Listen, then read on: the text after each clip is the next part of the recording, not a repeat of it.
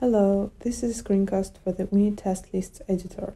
The specific websites that are tested by our application OONI Probe are included in public community created lists, which we usually refer to as test lists.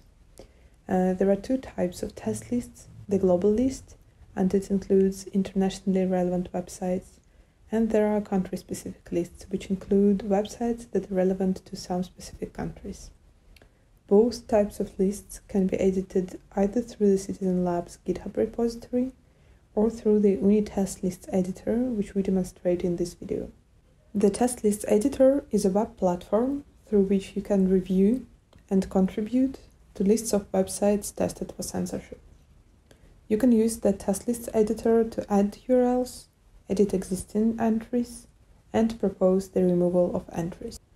So the first step to access the test list editor would be going to https testlist.ooni.org. Uh, please add your email in the email slot here. Keep in mind that we do not store email addresses. So we only need your email address to send you a link to access the service. Uh, now you will receive the email. Once you click the link, you will be logged into the platform. Here you can select one of the test lists through the drop-down menu. As mentioned earlier, there is a global list and country-specific test lists. For example, let's choose the test list for Azerbaijan. As part of reviewing the test list, you can add websites, edit existing entries, and delete existing entries. Uh, to add a website to a test list, add the URL to the URL slot and please ensure that the URL is typed correctly because if it is mistyped, OONI Probe will not test the intended website and this will potentially lead to inaccurate test results. So in our example, we added uh, news.us and it's uh, news media, so we categorize it as news. And if you want to add relevant context, uh, please add it under notes.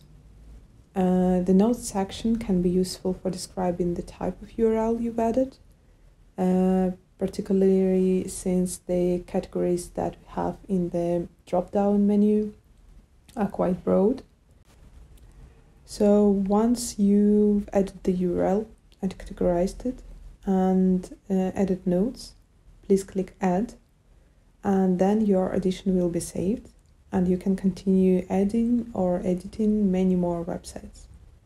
There is no limit on the number of edits or entries you can add, so just once you are done making changes, click submit and your changes will be proposed to the test lists.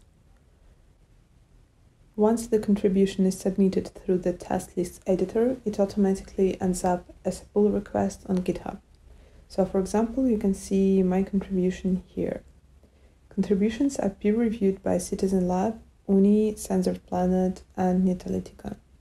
Once the pull request is reviewed and merged, the contributions are integrated into test lists and automatically prioritized for OONI Probe testing. Sometimes uh, the reviewers may provide feedback through the comments section of your GitHub pull request.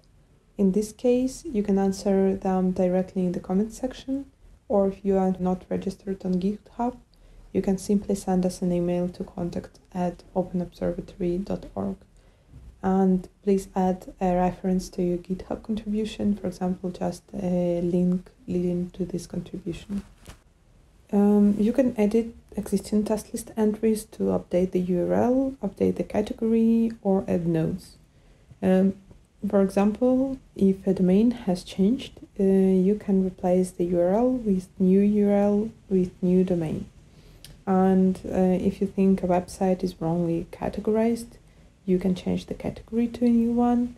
And if you want to share relevant contextual information that, for example, the content of the website uh, has changed or um, something happened to this website, like it was blocked, uh, you can add it to the notes section.